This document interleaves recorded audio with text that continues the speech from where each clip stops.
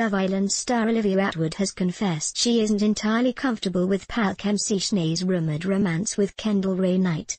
Kendall left the 2018 villa last week after being dumped by Adam Collard, before meeting last year's winner Kem on the spin-off series After Sun.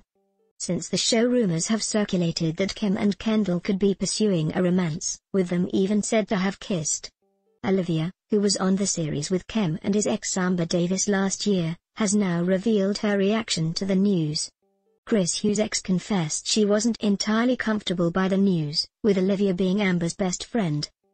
But the star did wish the pair well, while confirming Kem and Kendall did appear to kiss. She said on This Morning, I have to get my real smile ready because I was getting tweets the other day, when I was sat next to Kendall bless her. Olivia added to hosts Holly Willoughby and Philip Schofield, It is sweet, asked if it was awkward for her.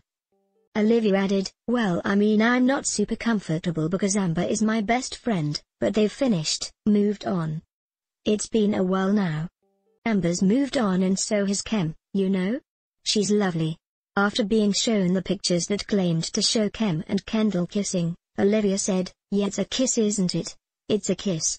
Love Island fans want Kendall back on the show, following the departure of Niall Aslam.